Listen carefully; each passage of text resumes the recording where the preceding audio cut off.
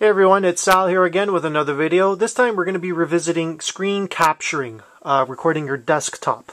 I found a, a, really good application that's free and um, I think uh, this is a perfect update to my old video uh, on screen capturing uh, through uh, through through um, an extension of Firefox.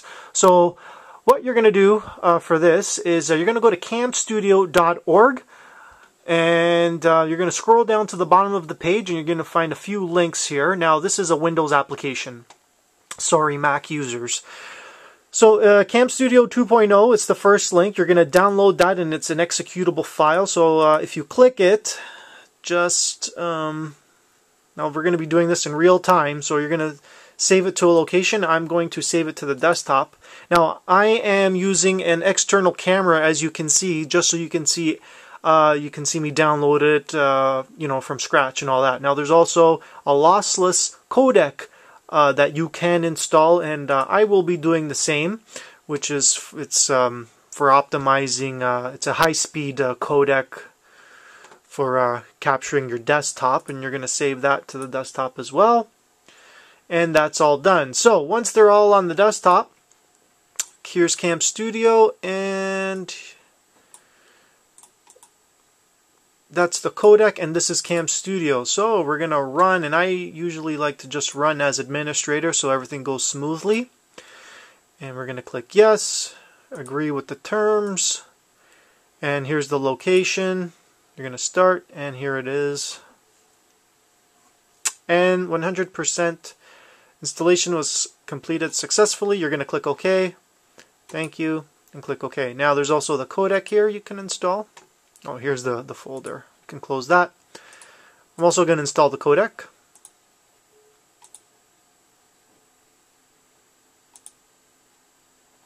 You're going to accept and install. And it's done. So, our installation is done. Let's run Cam Studio.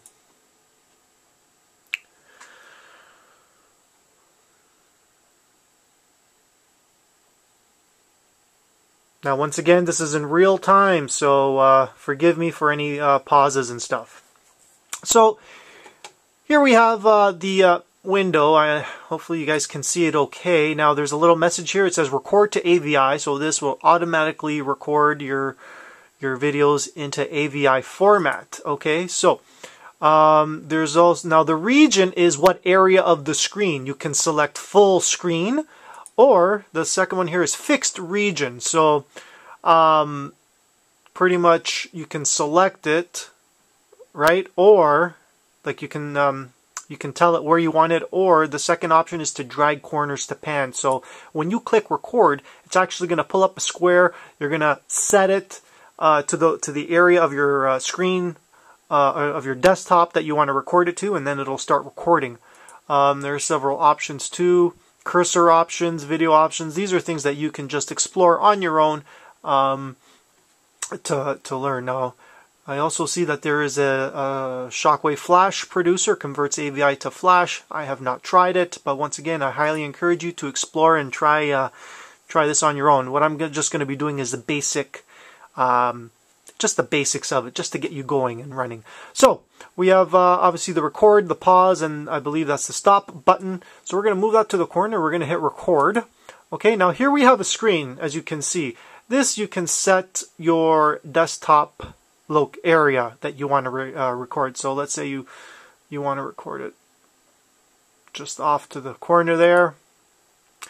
And it is recording, as you can see here uh, current frame, timing here, uh, number of colors, 32-bit, frames per second. So this is all running so you know it's currently recording your desktop. Okay, so you can do whatever you want, open up a, a, a window or anything, run an application, download it, do your YouTube video, whatever you want to do. And uh, here we go.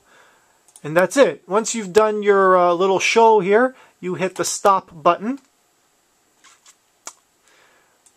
And here it's going to say, it's going to ask you for uh, a file name. So we're just going to call it test.avi and we're saving it to the desktop and then you click save. And then once that's done, here is a little uh, player. It's the Cam Studio player, which will play back your recording. Okay, now if we play here, you can see the action on the screen there. Where's wherever the browser is. Now it also captures audio as well. So if you plug in your headset uh, into the microphone jack, you can record as you uh, you can talk as you record.